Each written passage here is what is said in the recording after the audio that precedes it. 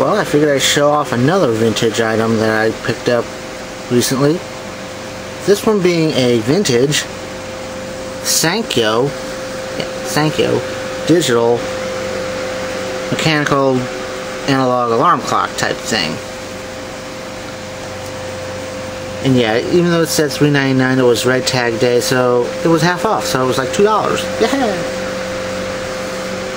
So yeah, as it's rolling, pretty cool. I mean, yeah. Did I need another alarm clock? Not really. But this one was vintage enough, and since these things... I mean, I've always liked the rollabout digital numbers.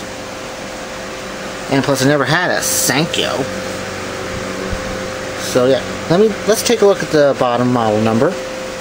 It's a Sankyo digital clock, model number 412, 120 volts, 60 hertz, 3 watts.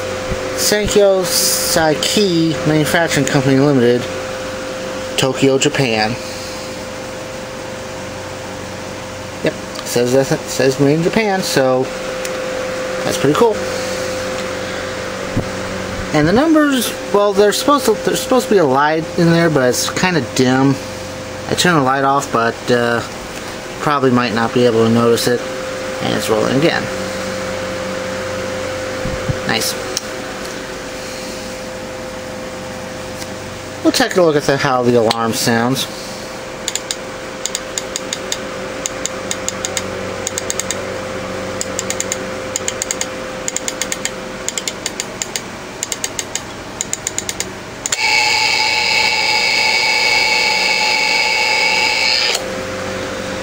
Not very loud. In fact, I doubt it'll wake me up. And uh, there's a little knob in here that'll adjust the time, so it's nice.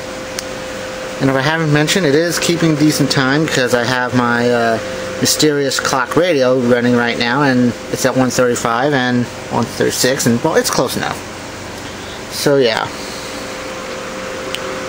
Thought I'd do this quick video about the Sankyo 4, Model 412 digital alarm clock that I got a good over half off.